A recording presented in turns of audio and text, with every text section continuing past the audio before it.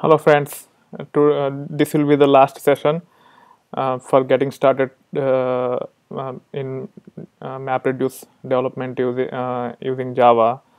And so far we have created our development environment and then um, we, we copied some data to, to, to the Cloudera virtual machine and we have developed a MapReduce program. And in the last session we have submitted the MapReduce job uh, uh, on um, small deck as well as large deck. And uh, now we will see further on this topic and we will review more details to understand what is going on. So we ran this command hadoop jar and jar file name and the class name demo cards drivers row count uh, and this is the input path for this program and this is the output path. Okay? So uh, we submitted the job in the last session and uh, it has completed successfully without any issues. And I have covered a uh, little bit of details uh, about these counters. Um, and uh, now we will see the output of it. And uh, to to check what is happening under the output directory you can run this command hadoop fs minus ls slash user slash cloudera output dot large deck and uh, you will see um, uh, a underscore success marker file uh, which, uh, which is in, used internally by MapReduce. You need not worry about it. And then depending upon the number of reducers used for your program, you will see uh, those many files here uh, by default.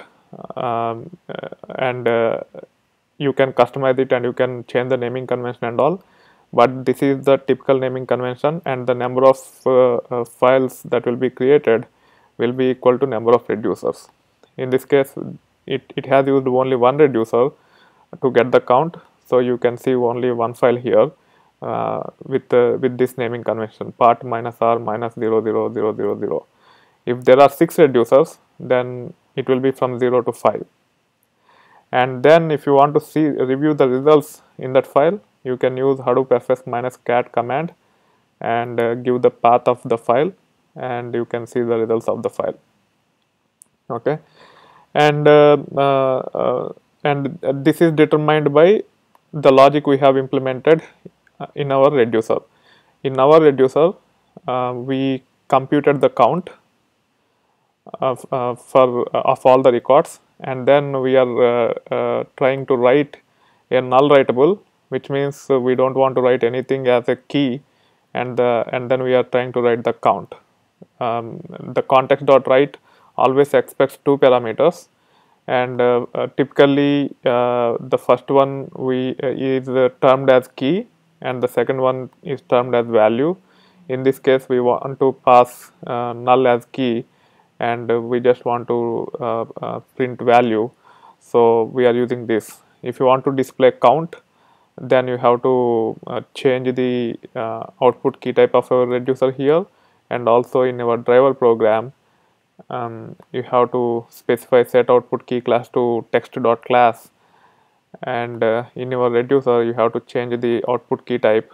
And then here you can uh, pass this key uh, uh, dot yeah pass that key. And then you will see output like this. Count tab it's a tab character. Uh, and then uh, whatever count it is in this case.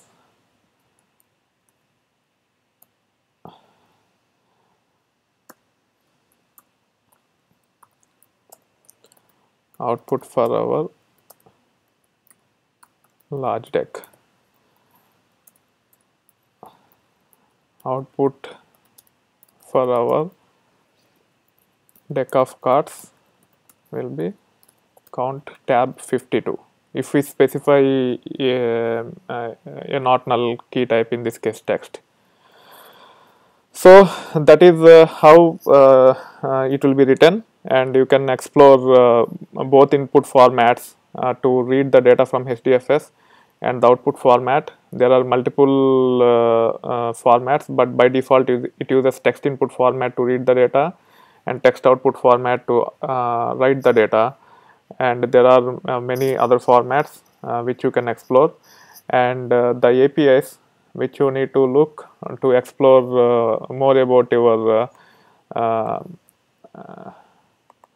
more about your, uh, your text input format and output formats is this one.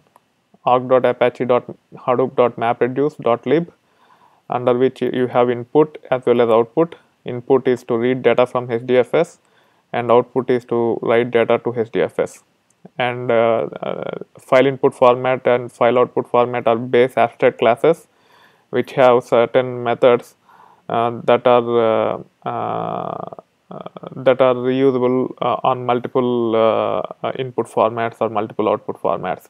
It's just typical object oriented concepts so i'm not getting into details. You can just explore all the classes uh, in these packages. And uh, if you are a java programmer you will be able to figure out uh, more about them pretty easily. And even for the key types and value types i have shown uh, in the last session uh, that io have multiple types of classes like int writable null writable text float writable and uh, the rationale behind uh, these uh, classes are to serialize the primitive types so uh, all the primitive types like integer, string uh, in Java are not serializable. But uh, to store in HDFS or to pass these objects over the network, they have to be serializable. So these are serializable alternatives or serializable versions of primitives that are developed for HDFS purpose. It is very important. That's why I am re-emphasizing that. And you can explore all the other uh, classes under this package. Okay so uh, let me recap what we have done so far and then we will close this series.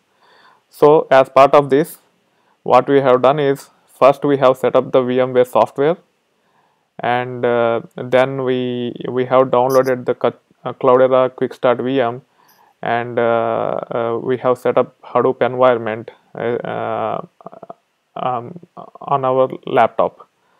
And then we have set up our Eclipse uh, sorry and then in the third video we have seen some HDFS commands to copy data into HDFS like Hadoop FS minus uh, put and we copied deck of cards uh, in multiple ways. One is by using Hadoop FS minus put command and the other one is uh, using Hue.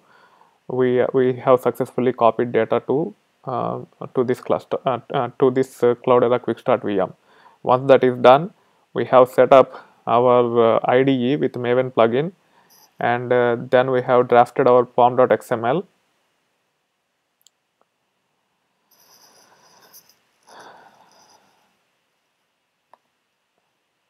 with the repositories and then um, uh, with the dependencies that are required to write our MapReduce uh, uh, programs and uh, only the first four are related to MapReduce, others are not related to MapReduce. So if you want to write uh, MapReduce programs, you can just uh, use these four dependencies. Others are not required. And then once we set up the environment, we have seen uh, uh what is MapReduce a little bit theoretically, and then we have developed a simple MapReduce program. Uh, and uh, we we we built the jar of it. We shipped the jar to Cloudera virtual machine, and we ran the program and we reviewed the results. That being said, I will be uh, ending this series. This is to just give uh, a kickstart uh, for Java developers so that uh, uh, they can feel uh, how easy it is to explore Hadoop and then they can build on top of it um, very easily. So stay in touch with me. I will be sharing more of my knowledge in future sessions. And please pass the word and make it sustainable. And uh, uh, and uh, and you can subscribe to my youtube channel technology mentor. And let me show you my youtube channel. So this is my youtube channel. And i will i will post this link um, in the description of this video.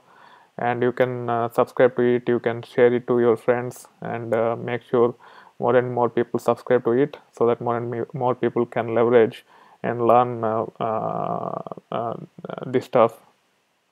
And also uh, you can go to my linkedin. You can search Durga Gadiraju in Google. And it will take you to my LinkedIn profile.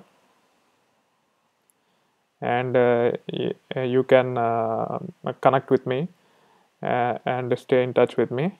And if you like this session uh, you can go to my profile scroll down and you can endorse me in big data hadoop and yeah those two are the main things um, that are relevant for this series and and also um, I will upload this code to github and I will provide the link of github um, on on all this uh, uh, in comment section or description section of all the videos in this series. So you can go to that uh, github uh, and you can uh, follow uh, my url and you, you, you will get lot lots of code in future